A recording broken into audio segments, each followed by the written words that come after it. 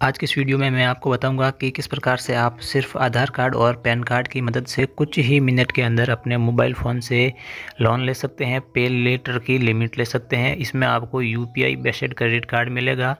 आप इसमें यूपीआई के ज़रिए भी ट्रांजेक्शन कर सकते हैं, यानी कि आप ज़ीरो फ़ीस के आधार पर अपने बैंक अकाउंट में पैसा ट्रांसफ़र कर सकते हैं। अपने किसी फ्रेंड को आप वो पैसा भेज सकते हैं। आप किसी भी क्यू आर कोड को स्कैन करके पेमेंट कर सकते हैं यू पी आई के ज़रिए पेमेंट कर सकते हैं। कुछ ही स्टेप्स में आपको यहाँ पर ये क्रेडिट लाइन मिल जाएगी क्रेडिट लिमिट मिल जाएगी और इसमें आपको एक वर्चुअल क्रेडिट कार्ड भी मिलता है, जिसे आप रिपेमेंट कर सकते हैं। फ्लेक्सिबल डेट में आप इसमें ईएमआई पर भी कर सकते हैं। इसमें कुछ भी ज़्यादा चार्जेस नहीं है, कोई हिडन चार्जेस नहीं है। काफ़ी सिंपल सा इसका इंटरफेस है और काफ़ी लोग इसे यूज़ कर रहे हैं। फ़िलहाल आपको इसके एडवर्टाइजमेंट भी अनेक प्रकार के देखने को मिलते होंगे। सो आज की वीडियो में मैं आपको डिटेल्स में बताऊँगा कि किस प्रकार से आप इसमें अप्लाई करेंगे, कौन सा एप्लीकेशन है और क्या कुछ इसके चार्जेस वगैरह हैं तो सब कुछ आपको डिटेल्स में बताऊँगा। तो चलिए वीडियो को शुरू करते हैं। सो so, हम बात कर रहे हैं Aspire U P I based credit limit के बारे में। ये एक बेस्ट पे लेटर एप्लीकेशन है। इसका रजिस्ट्रेशन और इस्तेमाल करने के लिए आपको वीडियो की डिस्क्रिप्शन में एक लिंक मिलेगी। उस लिंक पर क्लिक करेंगे तो सीधे आपके सामने ये पेज ओपन हो जाएगा। अब इस पेज पर आपको कुछ इन्फॉर्मेशन फिलअप करनी होगी। जैसे यहाँ पर सबसे पहले आपको अपना नाम डालना होगा, जो भी आपके आधार कार्ड और पैन कार्ड में है। उसके बाद आपको अपना एक फ़ोन नंबर डालना होगा, जो आपके आधार कार्ड से लिंक है। उसके बाद आपको अपनी एक ईमेल आईडी एंटर करनी है। उसके बाद अपने एरिया के पिन कोड को एंटर करना है। उसके बाद सेव एंड प्रोसीड करेंगे तो इस पेज पर आप पहुँच जाएँगे। सिंपली यहाँ से आप इस एप्लीकेशन को इंस्टॉल करेंगे। Aspire credit card pay later early access इस एप्लीकेशन को आप सिंपली डाउनलोड के ऑप्शन पर क्लिक करके डाउनलोड करेंगे। उसके बाद आप यहाँ से इसे ओपन कर देंगे। जब हम इसे फ़र्स्ट टाइम ओपन करेंगे, तब कुछ इस प्रकार का इंटरफेस हमारे सामने ओपन हो जाएगा। एस्पायर आप यहाँ से इसकी हाईलाइट देख सकते हैं। नेक्स्ट करेंगे।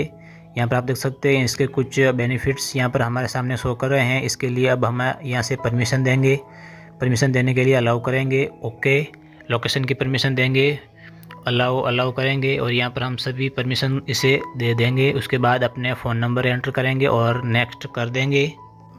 अपने मोबाइल नंबर को एंटर करने के बाद नेक्स्ट करेंगे, तब हमारे सामने कुछ इस तरह का पेज ओपन हो जाएगा। यहाँ से हमें नेक्स्ट इन्फॉर्मेशन भी फिलअप करनी है।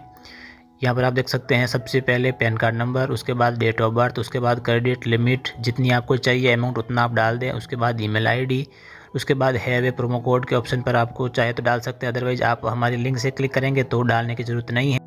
उसके बाद यहाँ से आपको आई एग्री इसके ऊपर टिक मार्क करेंगे और टर्म्स एंड कंडीशन को एक्सेप्ट करेंगे। थोड़ा सा स्क्रॉल अप करेंगे और यहाँ से हम टिक मार्क करेंगे और व्हाट्सअप पर नोटिफिकेशन पाने के लिए आप चाहें तो इसे छोड़ भी सकते हैं। अदरवाइज़ आप इस पर टिक करेंगे तो आपको व्हाट्सअप पर भी अलर्ट मिल जाएगा। उसके बाद गेट ओटीपी के ऑप्शन पर हम क्लिक करेंगे और हमारे पास एक ओटीपी रिसीव होगी। वो ओटीपी हम आगे के पेज पर फिलअप करेंगे।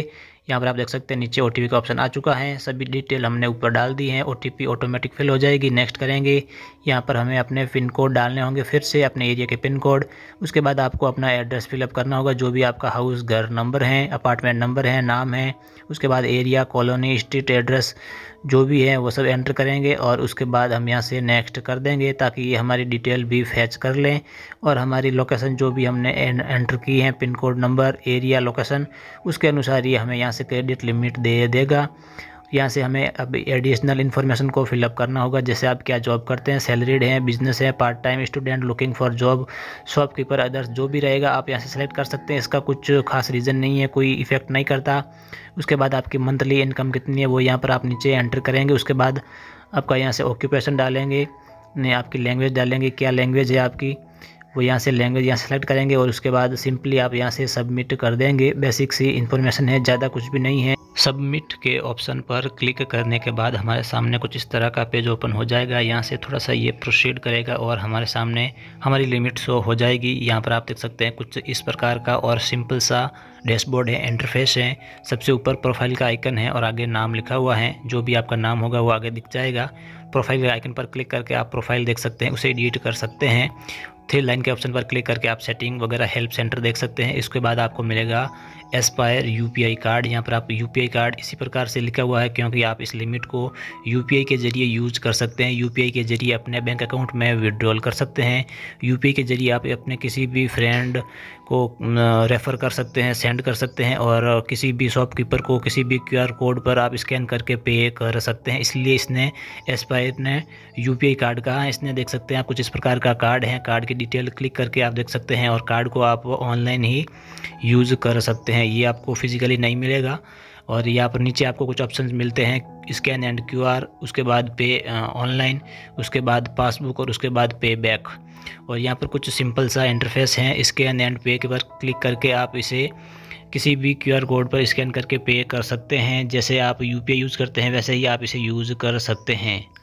सेकंड ऑप्शन हमें मिलता है पे ऑनलाइन का, जिस पर क्लिक करके आप किसी को भी ऑनलाइन पे कर सकते हैं। किसी भी वेबसाइट पर, किसी भी सेंटर पर, किसी भी ऐप पर, किसी भी प्लेटफॉर्म पर कार्ड के ज़रिए कार्ड की डिटेल को फिलअप करके कर सकते हैं।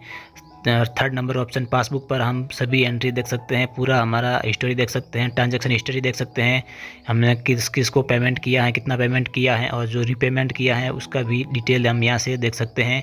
टोटल ट्रांजैक्शन आईडी के साथ में डेट एंड टाइम के साथ सभी हमें यहाँ पर हिस्ट्री देखने को मिल जाएगी पासबुक के अंदर। उसके बाद है पे बैक जब हमें पैसे जो हमने यूज़ किए हैं पे लेटर हैं, उसको हम रिपेमेंट करेंगे। जब हम पैसे वापस देंगे, उसको ड्यू डेट के दिन बिलिंग डेट के दिन, तब हम पे बैक के ऑप्शन पर क्लिक करेंगे। और जितना आप चाहें, उतना फ्लेक्सिबल अमाउंट भी पे कर सकते हैं। जैसे आप चाहें तो चार किस्त में भी कर सकते हैं, और आप चाहें तो दो किस्त कर सकते हैं, और आप चाहें तो टोटल अमाउंट एक साथ भी कर सकते हैं।